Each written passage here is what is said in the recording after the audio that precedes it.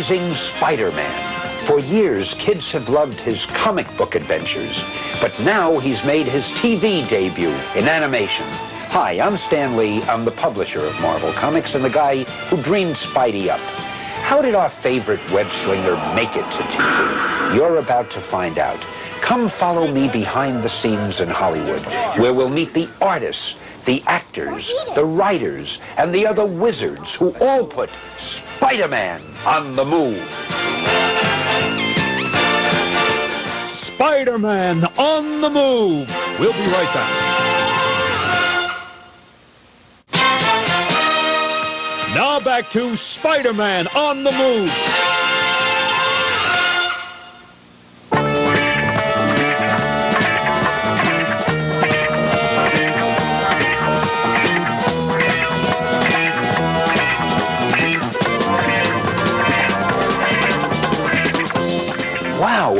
Amazing fantasy number 15. I've got to have it. Fine, it's a thousand dollars. Oh, I, uh, I don't really need it.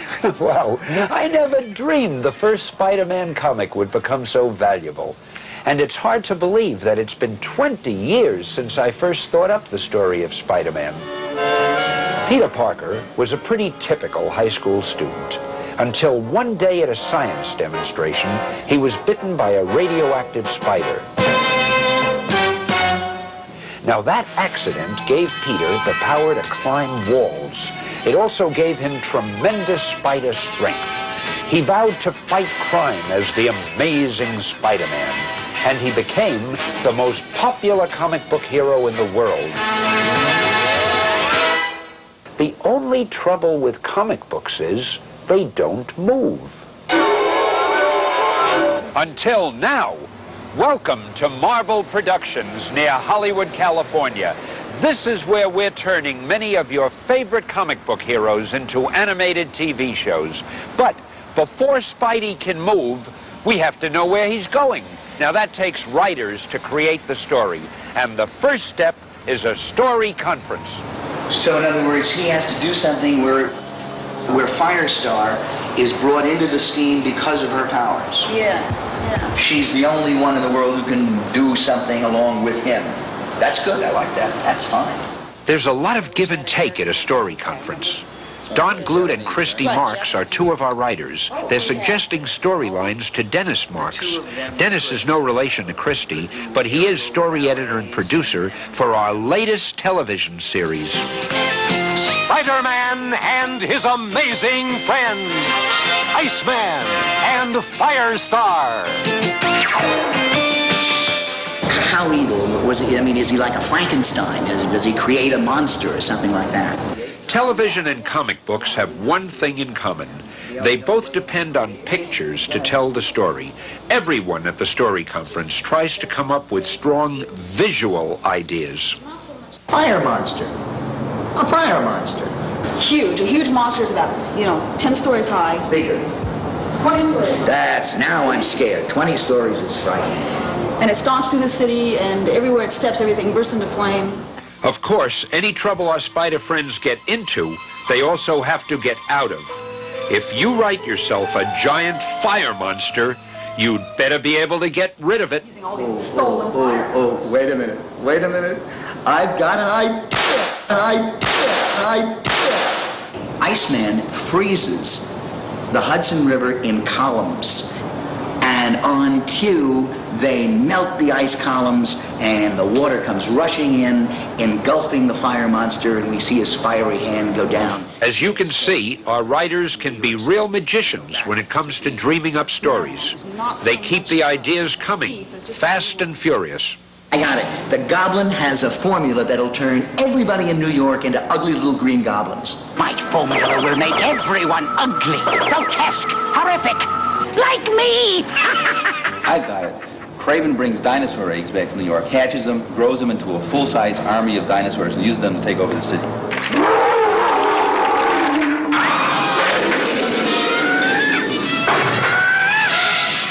Something I've always wanted to do. Let's take some ordinary little schlemiel, some little schlump, give him all the powers in the universe, and then throw in some villain like Doctor Doom to manipulate him. He can do anything. I want new shoes and fancy clothes. And a gilded carriage with six black horses. And those nasty boys will be my foot servants. Spider friends, Spider friends? go for it! Go for it!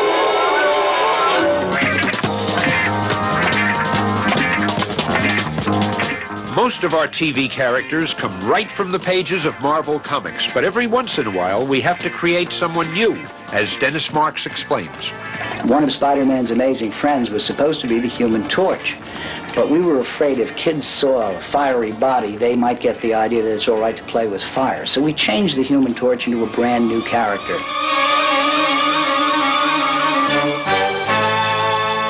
A beautiful woman called Firestar.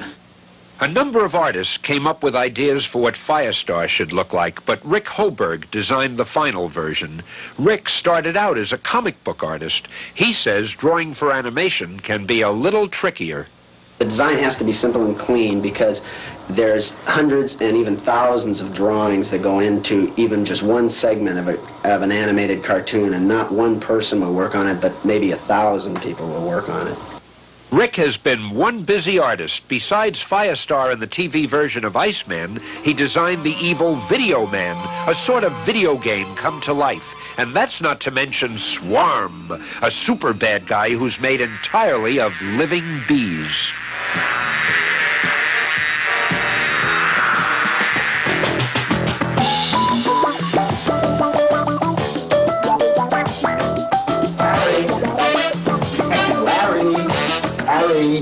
How are you? Oh, good tune. Listen, I was going over Don Glut's Crime of the World Century script about the dinosaurs. Larry Houston is one of our storyboard artists. It's Larry's job to take our written story and translate it into clear, interesting pictures that our animators can follow. Okay. All right, thanks, Larry. Okay, man.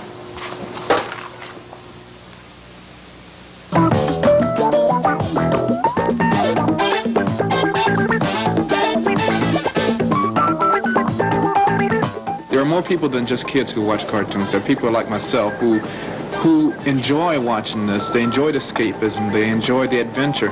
And when you when you adapt something and make it uh, just like the comic book, you can enjoy it. A finished storyboard is a lot like a comic book, and it gives us a chance to see how good our story looks all together, or one last chance to change our minds. Now, this is when we hear from the president of Marvel Productions, that is, Mr. David DePatie. He made it Well. I'm always concerned about these areas because it's like we don't pay proper attention to effects. You know, we're always concerned about the character animation, but in the David DePatie ought to know a thing or two about animation. After all, he helped create the Pink Panther.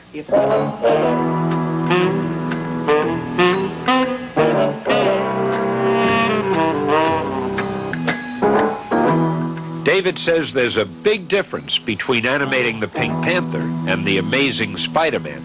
In the case of the action adventure characters like uh, Spider-Man or the Hulk or any of the other Marvel characters, a great deal more attention is paid to story. One more swing and I'll try it. Oh, no, you don't. You see, we really have to tell a story that has a beginning, a middle, and an end, something that makes sense.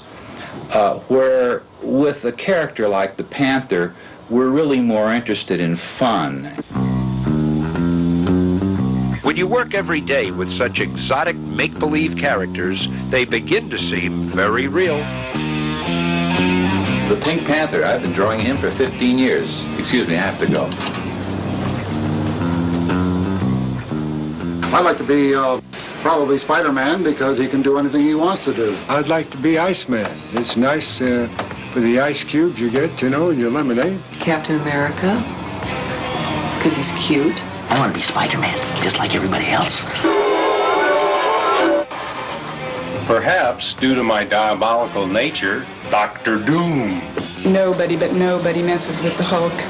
And besides, he's so savage the mighty Thor, because uh, he's got a nice uh, way of doing things. I always dreamed about being a real super villain like the Green Goblin, a real weirdo. The difference between me and everybody else is I got the chance to do it. I caught me a wall crawler! You're at the mercy of the real Green Goblin. And of course, you know, I don't have any mercy. Where's my formula, web slinger? My formula will make everyone ugly, grotesque, horrific, like me. Very good, very good. Now come on in here and be a producer. You'd better believe that Dennis Marks loves the chance to ham it up as the evil voice of the Green Goblin. Back in the recording booth, Dennis will work with director Alan Dinehart to make sure that every line of dialogue is recorded just right. And then we do 208 Spider Friends, go for it. Uh, okay? Take one. If you had a formula, what would you do to get everybody in New York to try it? Advertise on television? No! Actress Kathy Garver plays Firestar. Does she look familiar? She played Sissy on the TV show Family Affair. Iceman is played by actor Frank Welker. And Dan Gilvezan is the voice of the amazing Spider-Man. And Peter Parker, too, of course. There is a difference between the two voices. Peter Parker is a college student. He's very unsure of himself in a lot of ways, especially with girls and things, and uh, which I can relate to very easily. And uh, like Peter it might sound like, well, gee, we got to go over here sometime. It's a little bit sort of up in a higher register, a little, little bit different. When he becomes Spider-Man, he becomes a take charge sort of guy, and it's closer to my real register, and it's more like Spider Friends, Spider Friends, go for it. We gotta have more enthusiasm with the go for it. Every line of the script has a number. That's not only to help the actors to find their place. Later on, it will make it possible to splice the voices together. Director Alan Dinehart helps the actors deliver each line with just the right expression. Once again now. Take two. If you had a formula, what would you do to get everybody in New York to try it? Advertise on television? No! You get people to breathe it, or eat it, or... Or drink it. He'll try to put it in the drinking water. I hate to say it, but the wall crawler's right. And the city reservoir is right here in the park, just a few blocks away. Spider friends, go for it!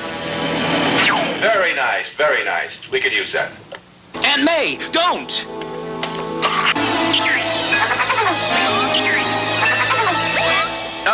You've done enough work for today. Uh, We'll Peter Parker's Aunt May is played by the First Lady of Cartoon Voices, Miss June Foray. I'd play Aunt May in Spider-Man, but uh, you probably know me in quite a few other characters like Hokey Smoke, Rocky the Flying Squirrel, and also Natasha on the same show, darling. And little Nell, um, who loves Dudley, but Dudley always loves his horse, unfortunately. Of course, all the uh, fairy godmothers and the fractured fairy tales and the little princesses. And don't forget scary, brash, impolite, And all around, yucky.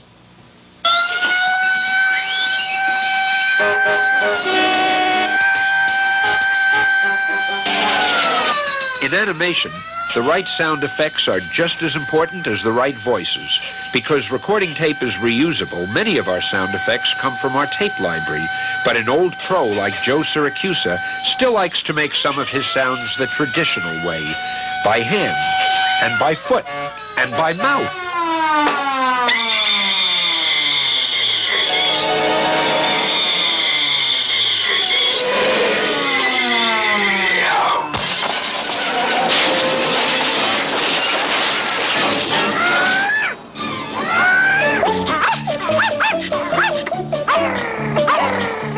Never know where you'll find the next great sound effect. This is Ms. Lion, the Spider Friend's pet dog. Her bark is supplied by Iceman himself, actor Frank Welker. Like we were trying to find a voice. We could have done a Beverly Hills watchdog sound, which is was a little too small. So we decided it is, is a female dog, and we wanted to get a sound, so we went with. Uh,